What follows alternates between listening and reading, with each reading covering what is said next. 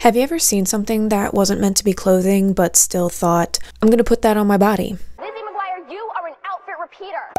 So it seems like for every holiday, every season, the dollar store has different types of mesh that correspond with the holiday. And so as soon as they started putting out the Halloween stuff, I snatched a bunch of this sparkly mesh with spider webs on it. This is the purple, but as you'll see, I ended up using the orange for this project. Don't ask me why, but when I saw it, my first thought was to make clothing out of it. Well, golly gee, I just think that would make a fantastic dress. I mean, it's fabric. It's not that illogical, right? So while it is technically fabric, uh, it's very cheap and does not want to be made into clothing. So once again, here's an unnecessary video recapping my process of forcing something to be clothing that does not want to be. As always, let's start with a concept sketch of what I intend to make out of this cheapo fabric. I ended up using 8 rolls of this stuff, but not the purple ones. I don't know why I bought those.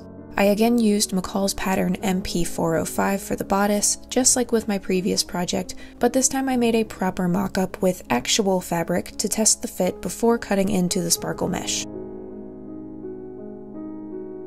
Since the mesh is see-through, I made a lining with some black fabric I already had on hand. Yes, I know it's not technically from the dollar store, but it just made much more sense to use stuff I already had. The rolls of mesh weren't quite wide enough for some of the bodice pattern pieces, so I divided those pieces in half, making sure to add seam allowance back in.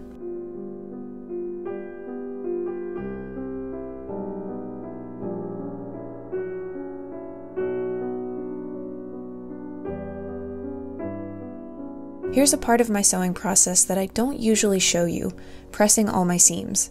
This is why it takes me so long to finish things, but it really makes the final product look so much neater. I used the iron on a low setting with scrap fabric as a pressing cloth on both sides to protect the mesh. I also decided to add boning to the sides of the bodice within the lining layer. These two pieces were actually salvaged from a dress alteration I did last year for a friend, thus further reinforcing my tendency to save everything.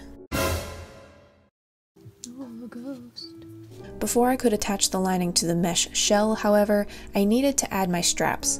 I again made a mock-up of my elasticated flutter sleeves before making the real deal.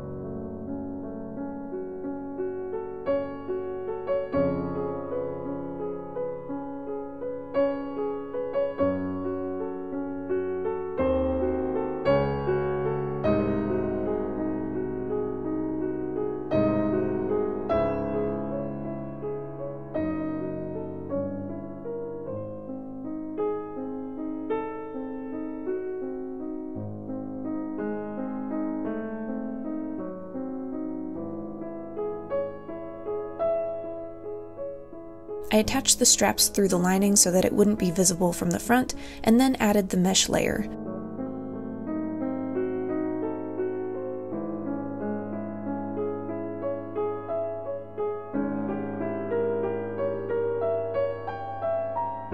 Y'all, there is glitter on everything. Like, even my face. Just glitter everywhere.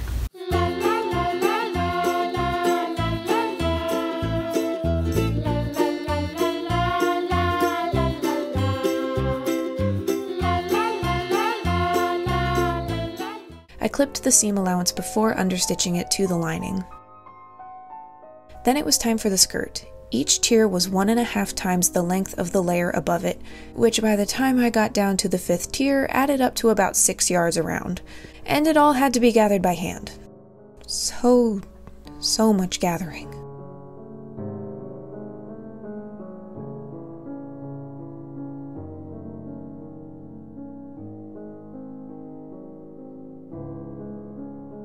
With the shell done, I made a lining that was a couple inches shorter than the skirt and the same width as the top tier. I attached these along the top, then hand gathered the skirt to be attached to the bodice.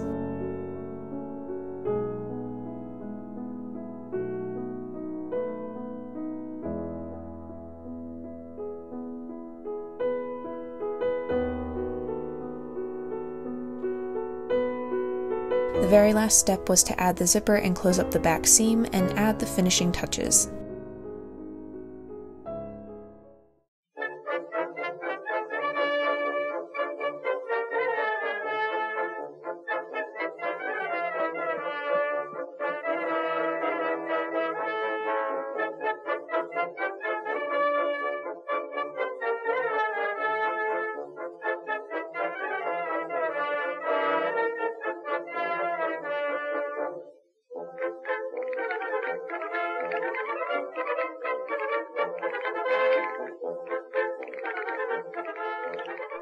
it's done.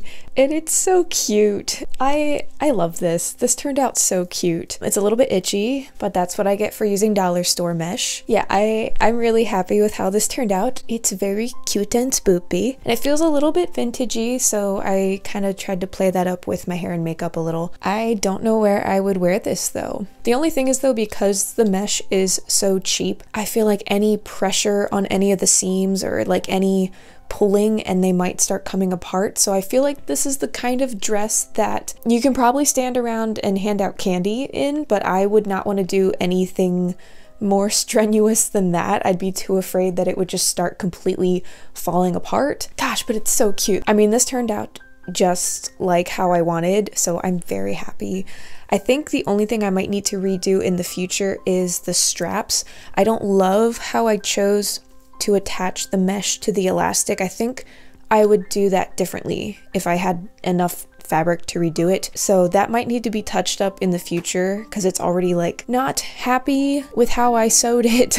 the mesh is very unhappy. And then I do need to take the straps up just a little bit. It keeps falling down in the back, but that's not that difficult to do if I need to redo that. And my tiers didn't quite line up in the back once I had the zipper in. The main thing for me was just that the bodice lined up at the top, but then when I went to connect it all the way down, they didn't quite line up, and that doesn't really bug me. It's not that big of a deal because it's in the back and it's not as noticeable. This is so impractical because I am shedding glitter everywhere. I already went through and like deep cleaned last night once I finished the dress. I vacuumed everything inside of my machines as much as I could. I vacuumed. But just filming these little segments, there's so much glitter again. Like, there were piles of it on my desk, enough to like cut lines with it.